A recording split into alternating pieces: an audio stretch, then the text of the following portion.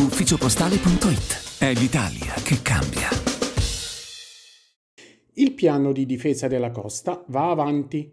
Il progetto iniziale è stato modificato e ora la Regione Abruzzo ha comunicato ufficialmente che la realizzazione delle barriere rigide orizzontali partiranno dal prossimo anno da Villa Rosa di Martinsicuro fino a Giulianova.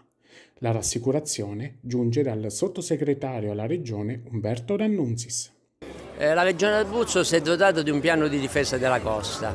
Eh, vicino a questo piano di difesa della costa ha già effettuato degli interventi di difesa e questo piano prevedeva gli interventi in Alba Adriatica, interventi che sono stati concordati con l'amministrazione comunale e con gli operatori.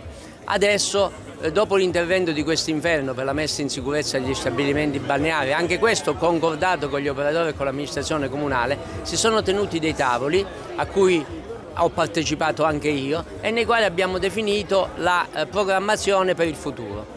Adesso ci saranno degli interventi per eh, garantire che la stazione balneare 2023 possa essere esercitata da tutti gli stabilimenti e poi all'interno della programmazione 21-27 verranno reperite le risorse per avere delle barriere rigide, orizzontali, lo ripeto, rigide, orizzontali, da Villa Rosa fino a Giulianova. È chiaro che già adesso abbiamo provveduto a modificare le schede del piano di difesa della costa e dietro mio indirizzo è stato dato ai progettisti l'incarico di provvedere alla realizzazione di questa modifica.